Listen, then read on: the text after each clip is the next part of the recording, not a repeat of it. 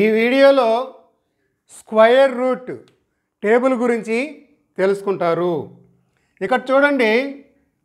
One square is equal to ఒకటి. దీని అర్థం ఏంటంటే ఒకటి ఇంటూ ఒకటి. One into one is equal to one.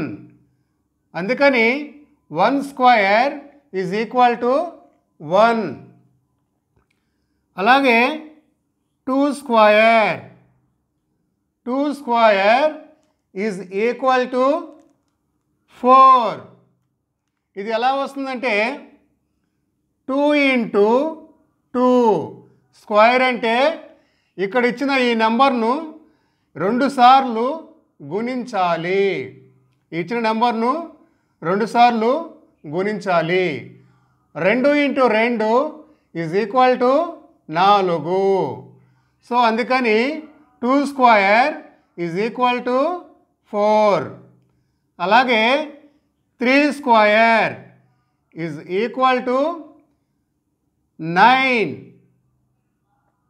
okay ఇది ఎలా వస్తుందంటే ఈ త్రీ స్క్వయర్ అనేది మూడు ఇంటూ మూడు. ఇక్కడ ఇచ్చిన ఈ నెంబర్ని రెండుసార్లు గుణించాలి.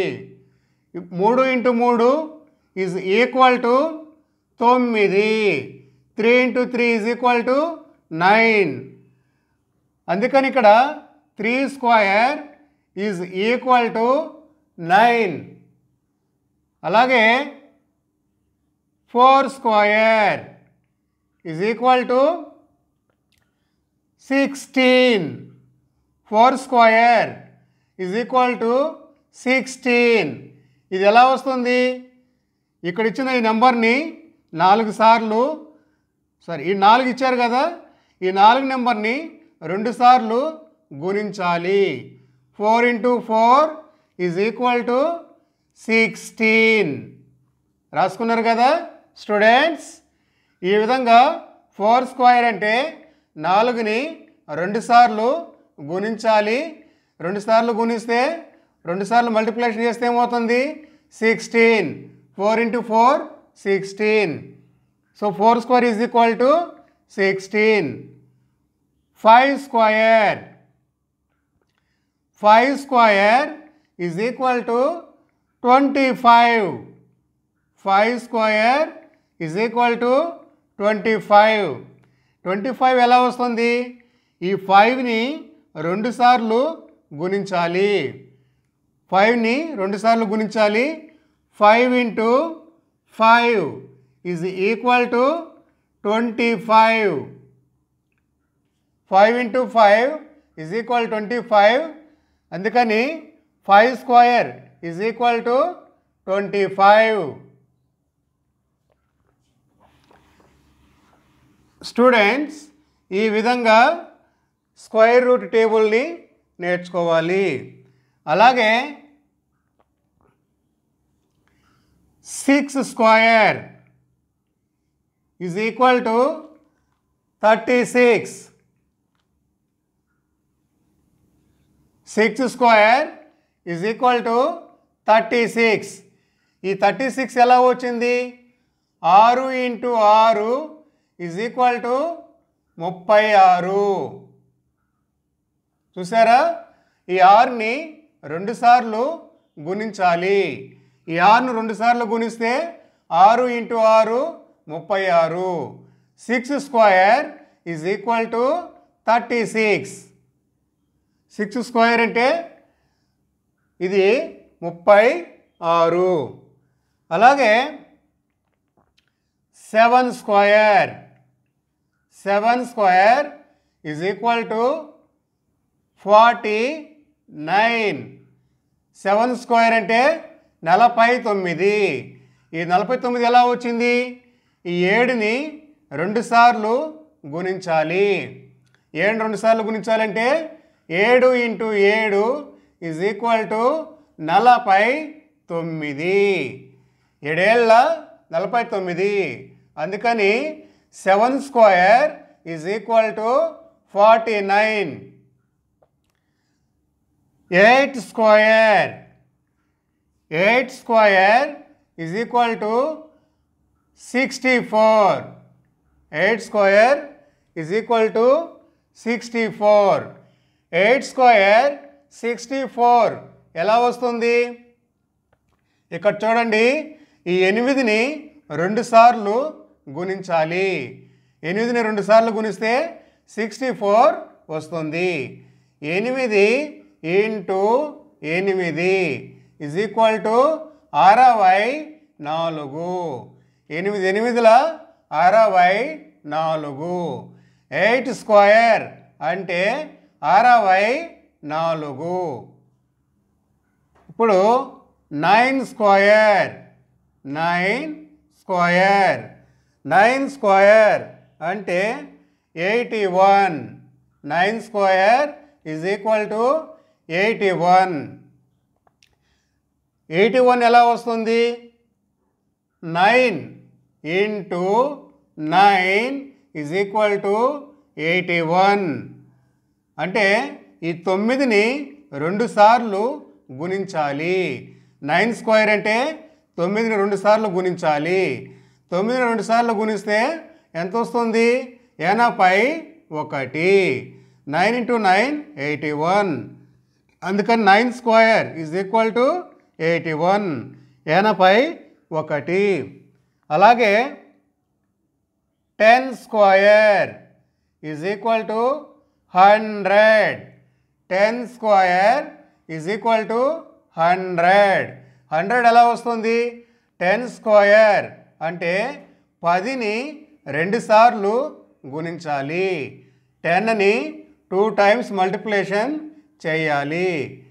ఎంత అవుతుంది పది ఇంటూ పది ఈజ్ ఈక్వల్ టు వంద. పది పదిల నూరు. ఇక్కడ చూడండి ఈ టెన్ని రెండు సార్లు మల్టిప్లికేషన్ చేస్తే హండ్రెడ్ వస్తుంది. అందుకని ten square is equal to hundred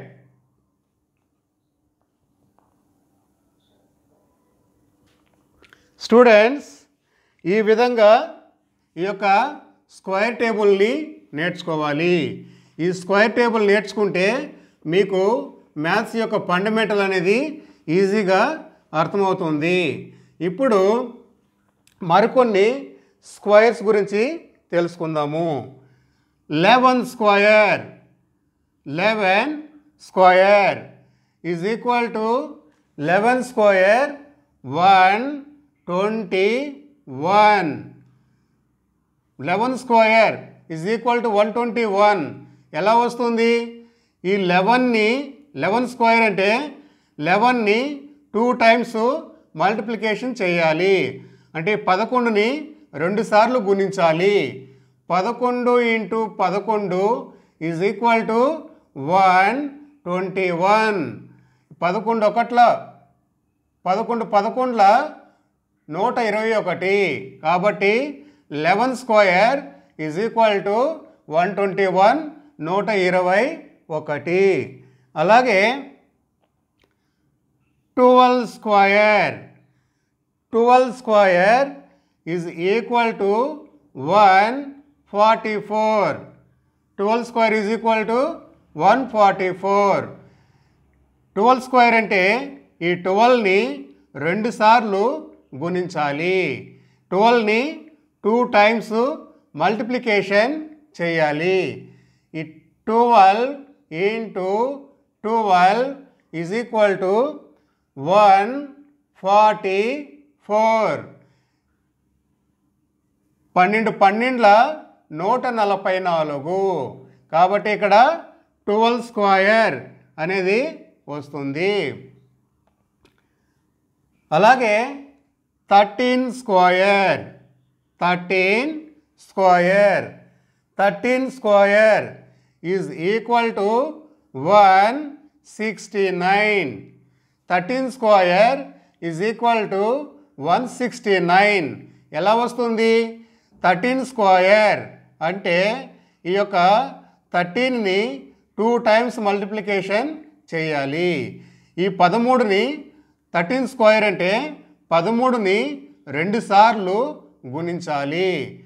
పదమూడు ఇంటూ పదమూడు is equal to one sixty nine పదమూడు పదమూడుల నూట అరవై తొమ్మిది. అందుకని ప thirteen square is equal to one sixty nine thirteen square is equal to నూట అరవై తొమ్మిది ఇప్పుడు fourteen square fourteen square is equal to one ninety six fourteen square is equal to one ninety six ఈ fourteen square is equal to one ninety six ఎలా వస్తుంది?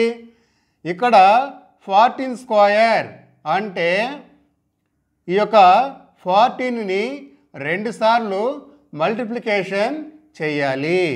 Fourteen square అంటే పద్నాలుగును రెండుసార్లు గుణించాలి.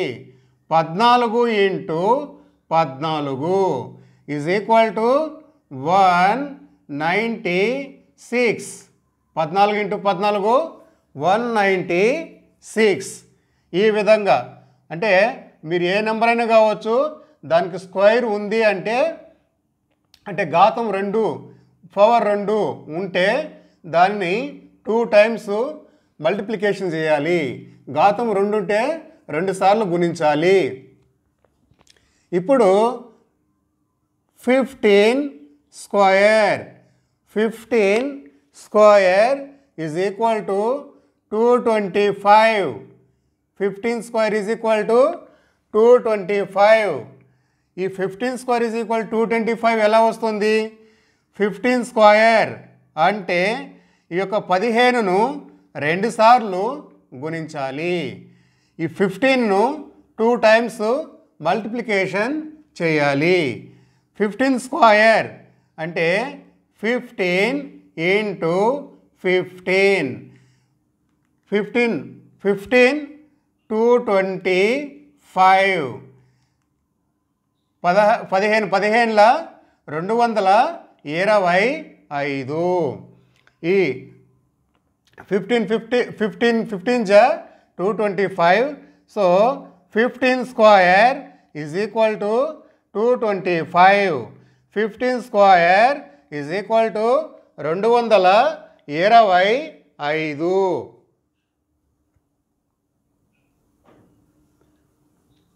ఈ ఛానల్ను సబ్స్క్రైబ్ చేయండి. Digital class school.